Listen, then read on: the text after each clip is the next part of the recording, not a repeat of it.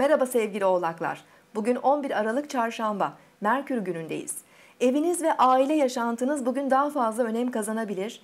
Rahat edeceğiniz yeni bir ev bulmak, birlikte aile kurmayı isteyeceğiniz birisiyle bir arada olmak, bir akrabanızın çocuğu olduğu haberini almak gibi konular günün e, kavramları arasında yer alabilir.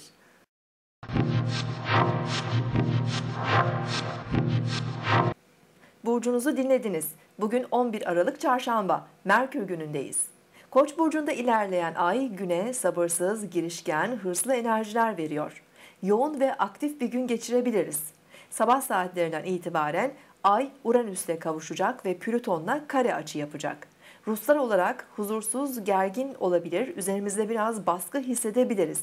Günlük işlerimizde çok istekli ve hırslı davranmamız bizi biraz duygusal olarak zorlayabilir. Bugün Yay burcundaki Merkür ile Ay arasında üçgen açı oluşacak. Sabah saatlerinde yazılı, sözlü iletişimlerimiz hızlanabilir.